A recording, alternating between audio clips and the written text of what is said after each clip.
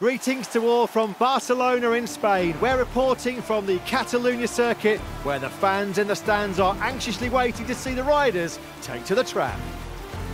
Just a few more moments and the images will take us to the starting straight for the MotoGP class race. The cameras are accompanying us to the starting grid where engineers and mechanics are making their crucial final checks before the start. Unfortunately, it has been raining for a few hours now and it doesn't look like it will stop anytime soon. Most of the riders have chosen a pair of soft tyres, but in this cold weather, it will require particularly smooth riding.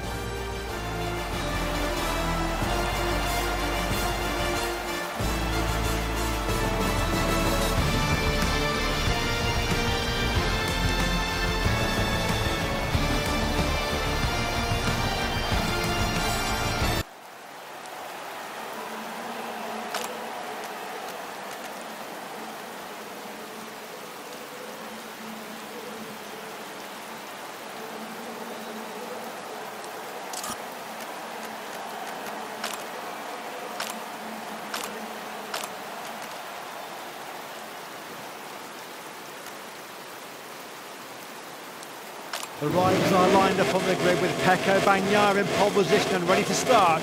Just a few more seconds until the lights go out and the race begins.